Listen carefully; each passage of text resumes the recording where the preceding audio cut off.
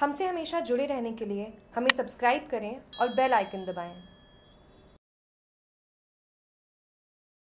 बाड़मेर के गाँव में मिला जंगली उल्लू।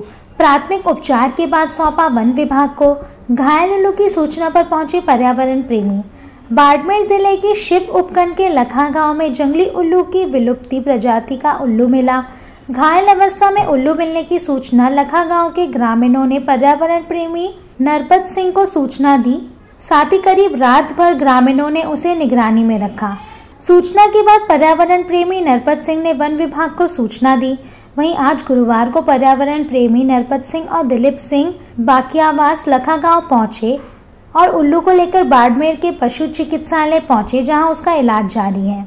पर्यावरण प्रेमी नरपत सिंह ने बताया कि सूचना मिलने पर वन विभाग रेंजर को सूचना दी और उनसे अनुमति लेकर लखा गाँव पहुँचे।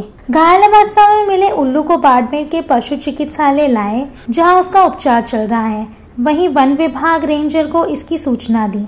वन विभाग की टीम मौके पर पहुँची और इलाज के बाद जंगली उल्लू को अपने कब्जे में लिया। क्या नाम है आपका? नरपत सिंह। ये क्या कौन सा जीव है ये? कहाँ से मिला? ये बड़ा उल्लू है जो एक विलुप्त की गंगार पे है। ये लखा गाँव जिला जैसलमेर लगता है और वहाँ से शिव लाए और शिव से मैं बाड़ में लाया हूँ। क्या हुआ इसको? ये या किसी से जंगली आवार कुत्ते ने बिल्ली ने पकड़ा है या कोई तार लगी है रात के टाइम उसको उनको खेत में मिला था।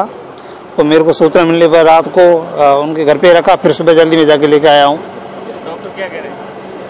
डॉक्टर इनका इलाज करेंगे और मैं वनिपा को सुपुर्द करूँगा। बाड़मेर से जागरूक टीवी की रिपोर्ट।